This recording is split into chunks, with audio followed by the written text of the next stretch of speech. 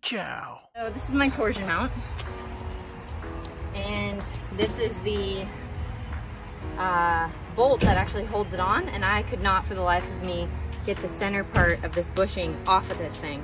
So I went and bought a new one. And we're gonna screw this into the car and then put it on just like that.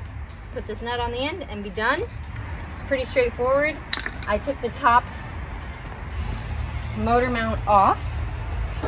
So this bolt's loose and these two bolts are loose.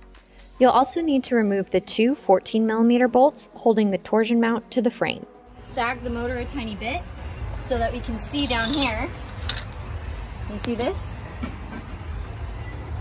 That's right what we're gonna screw in. In order to control the height of the motor when you're sagging it, you want to put a piece of wood with a jack underneath the oil pan.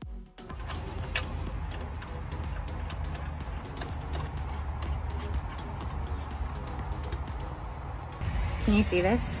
Yeah. So the arrow points forward, so it should go in this way. And then there's just two bolt holes that we're gonna line up at the top there. These were relatively inexpensive aftermarket parts, so I had to drill the hole out a tiny bit to make it fit. Raise the motor back up so that you can put those 14 millimeter bolts back in. When torquing motor mounts, they must be torqued in the correct sequence or you might end up with vibration.